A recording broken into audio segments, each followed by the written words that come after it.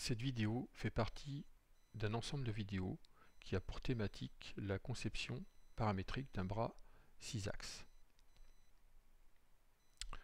Donc je vais vous faire d'abord un bref descriptif du bras 6 axes. Donc il s'agit d'un bras qui possède donc 6 axes. Chaque axe est motorisé par un moteur pas à pas ou stepper. Les moteurs sont décalés par rapport aux axes des articulations. C'est ce qu'on pourra voir dans le schéma de principe ici. Donc on aura des moteurs décalés pour faire les rotations. Et on aura deux moteurs dans l'axe pour euh, les poignées ici. Donc l'objectif de, cette étude, euh, ça va être d'utiliser dans un premier temps un modeler nommé OnShape qui permet donc de faire des conceptions paramétriques. C'est un équivalent de modeler euh, connu comme SolidWorks. OnShape est un peu moins connu et donc je vais vous montrer quelques techniques de conception. donc entre autres des esquisses paramétriques, et puis des conceptions dans le, dans le, dans le contexte, ainsi que euh, l'usage de familles de pièces euh, pour euh, travailler sur l'interchangeabilité par exemple des steppers, pour faire de, la simulation, voir l'application d'un stepper plus lourd que d'autres quand on pourra faire des simulations mécaniques. Le but n'étant pas de faire les simulations dans ces vidéos, hein, je ne le ferai pas voir. Voilà. Donc, euh, le schéma de principe, je reviens dessus. Donc on va avoir un bloc 0 en noir, si on regarde un petit peu le codage. Un bloc 1 en bleu, articulé avec un bloc 2 vert. Ce même bloc articulé avec un bloc violet. Celui-ci possède une liaison pivot avec le bloc rouge ici. Ce même bloc rouge est articulé avec un bloc jaune et on a également un poignet orange. Voilà, donc on a six rotations possibles. Donc l'objectif ici, ça va être de concevoir dans OnShape euh, euh, des esquisses paramétriques. Donc on va commencer par créer une première esquisse paramétrique générale qui va consister à donner les euh, dimensions d'encombrement principales des blocs. Donc par exemple, le bloc 0 qui va être le bâti, on va lui mettre une code paramétrique H0, le bloc 1, etc. Bloc 2, bloc 3, 1, 3, 2, etc. Ensuite, on fera une autre ou d'autres esquisses paramétriques pour euh, simuler l'emplacement euh, des transmissions et particulièrement la position des steppers. Donc à ce niveau-là. Donc on aura quatre transmissions par courroie. Euh, sur ce schéma-là, on voit, c'est une vue de dessus, c'est la transmission entre euh, le bloc bleu et le bloc euh, le bâti 0. Et donc à chaque fois, on a un décalage du stepper par rapport au bloc en rotation. Donc on a quatre transmissions par courroie et ici deux transmissions directes au niveau des steppers. Voilà. Donc ce que je vous propose, ça va être de passer tout de suite sur OnShape.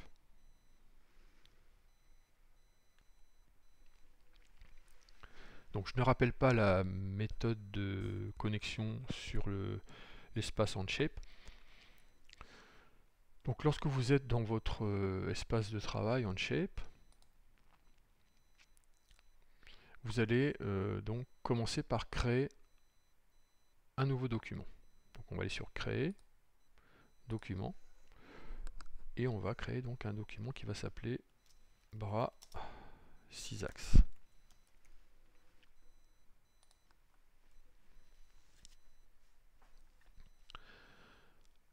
Donc l'espace de travail se crée.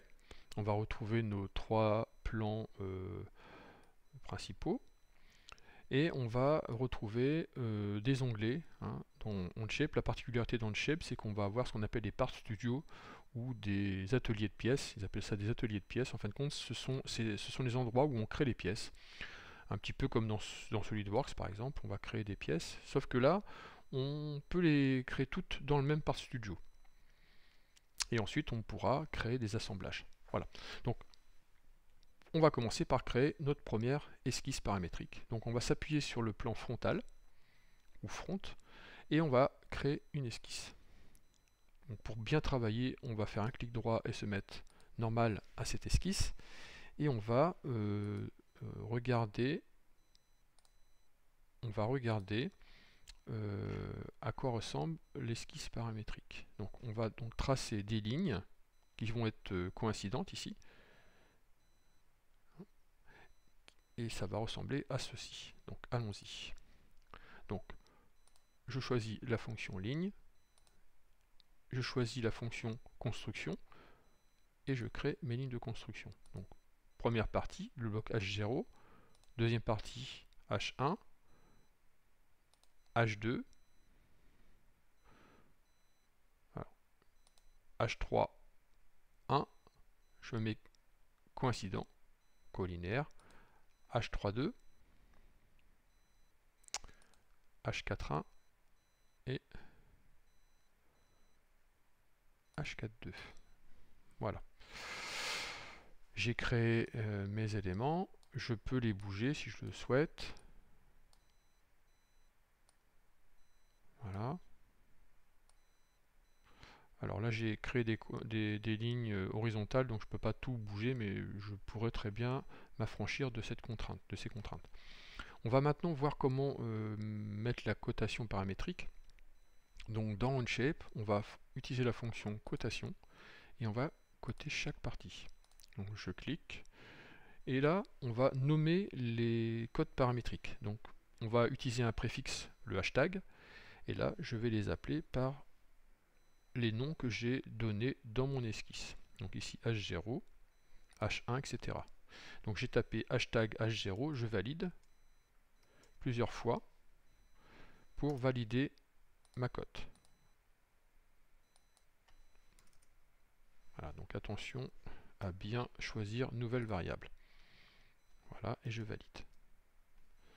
Je reproduis la même chose pour le H1. nouvelle variable, et je valide.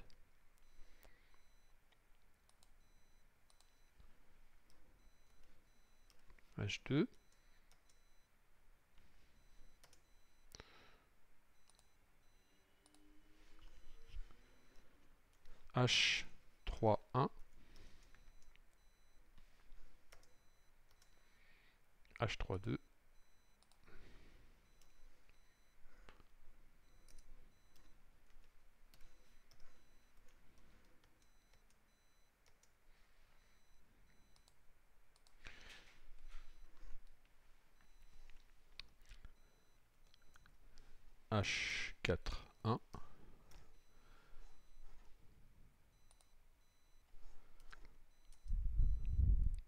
enfin H4, 2.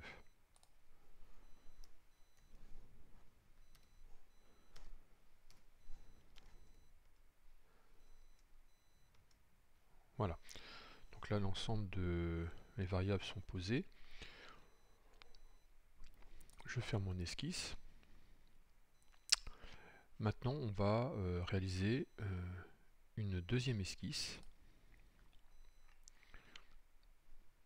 Peut même en faire plusieurs, hein, si on le souhaite, pour positionner l'anthrax des euh, différentes transmissions. Donc on verra ça dans la vidéo suivante.